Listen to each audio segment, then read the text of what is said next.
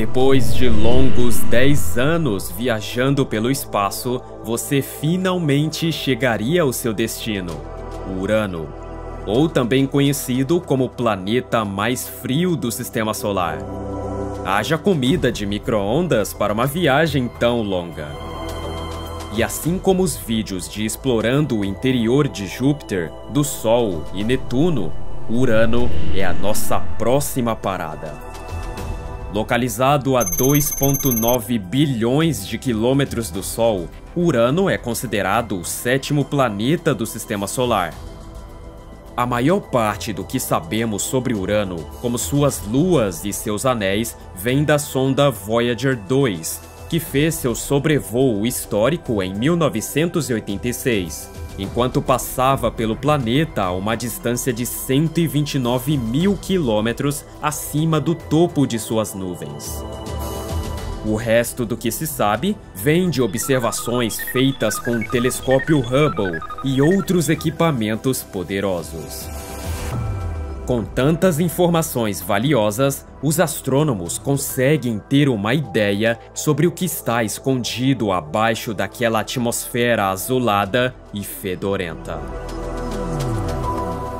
Eu sou Gabriel Souza e você é muito bem-vindo por aqui. E se você curte meus vídeos, considere se inscrever no canal e deixar o seu like para mais conteúdo sobre o universo.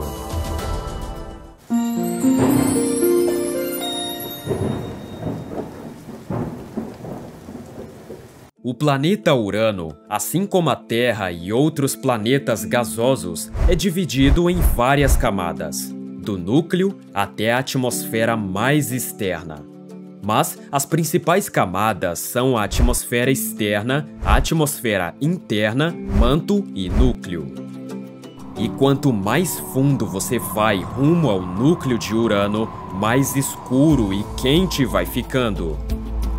Mas por agora, você terá que lidar com temperaturas extremamente frias, que fariam você virar um picolé em poucos segundos. Ou simplesmente morrer de hipotermia. Assim como os outros grandes planetas do sistema solar, entrar dentro de Urano seria impossível para um ser humano.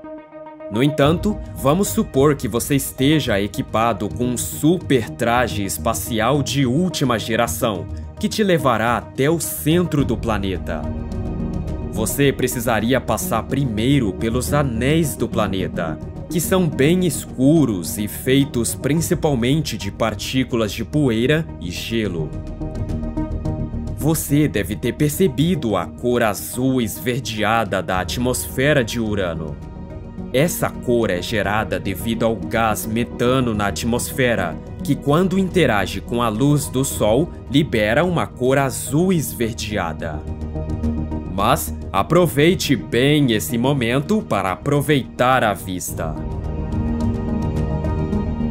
Aqui estamos nós, a primeira camada de Urano, a atmosfera externa. Essa região é feita de nuvens de metano congelado, misturado com hidrogênio e hélio. E por aqui, a temperatura já estaria muito fria, cerca de 224 graus Celsius negativos. Urano possui diversas camadas de nuvens, mas agora você já estaria na última delas. E por aqui você conseguiria ouvir o som de tempestades circulando por todo o planeta. Mas essas tempestades não estão acima de você, mas sim lá embaixo. Vamos continuar. Urano tem uma gravidade semelhante à Terra, com 8,87 metros por segundo ao quadrado enquanto a Terra são 9,8 metros por segundo ao quadrado. Então, ao cair em Urano, você estaria descendo a uma velocidade bem semelhante a se estivesse em queda livre em direção à Terra. Não demoraria muito para passar por essas nuvens de metano, e logo você chegaria na segunda camada de Urano, a atmosfera interna. Porém, É aqui que as coisas começam a ficar divertidas. Os ventos nessa região chegam até 900 km por hora, o que é 2,6 vezes mais rápido do que o furacão mais rápido registrado na Terra, que aconteceu no Oceano Pacífico em 2015, o furacão Patrícia, com ventos que atingiram 346 km por hora. Mas não é só isso.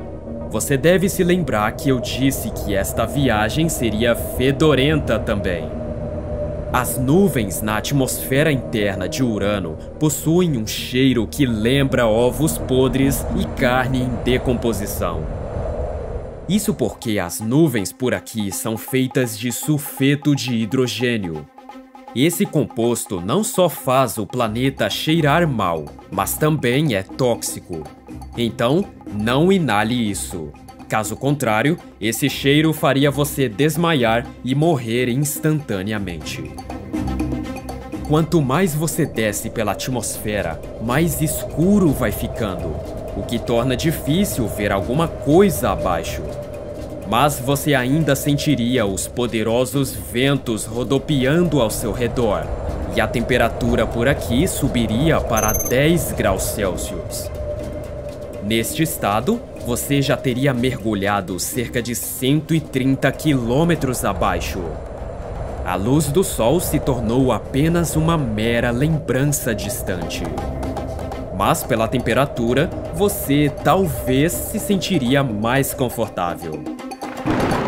Mas esse conforto duraria pouco, pois você alcançaria uma zona caótica feita de nuvens de gelo. E a eletricidade presente nestas nuvens geram relâmpagos que brilham a cada segundo e iluminam brevemente o seu caminho. A pressão por aqui seria de 100 vezes maior do que a pressão atmosférica ao nível do mar da Terra, e a temperatura aumentaria para 50 graus Celsius. Uma coisa interessante é que acredita-se que nessa região chove diamantes. Uma chuva bem rica, por sinal. Isso acontece pois na atmosfera de Urano tem muito metano. E o metano é uma molécula feita de um átomo de carbono e quatro átomos de hidrogênio. Quando o metano é submetido às condições extremas de temperatura e pressão no interior de Urano, os átomos de carbono são espremidos e formam cristais de diamantes. Os átomos de hidrogênio são deixados para trás como um gás, e os diamantes, que são mais pesados que o gás, caem como gotas de chuva em direção ao centro do planeta. Mas com certeza receber uma chuva dessa na cabeça não seria nada legal. E agora, você já mergulhou cerca de 240 quilômetros abaixo e está ficando muito mais escuro.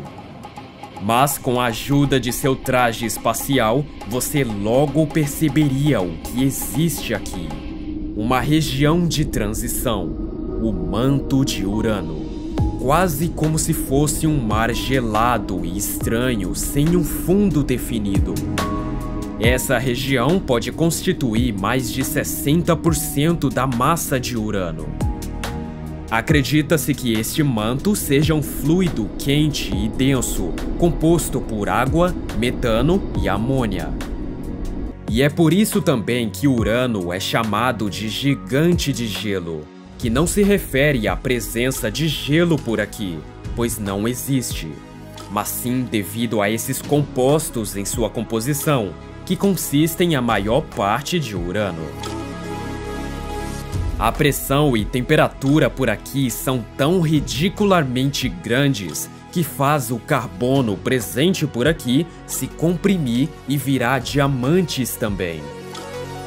Chegar ao núcleo de Urano a partir daqui demoraria semanas, pois quanto mais fundo você vai, mais espesso ele fica, eventualmente atrasando a sua chegada ao núcleo.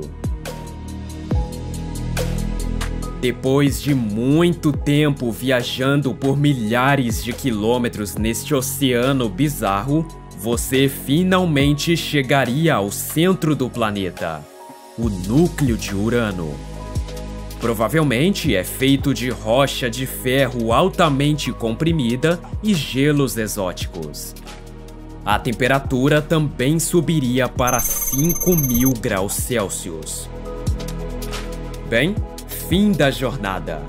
Você estaria condenado a ficar por aqui, pelo menos até o seu traje espacial suportar. Não tem mais como voltar agora. Aliás, como seu corpo humano é feito de 18% de carbono, a pressão no núcleo de Urano poderia fazer partes de seu corpo se transformar em diamante puro. Que maneira espetacular e nada agradável de terminar essa viagem só de ida para o centro de Urano.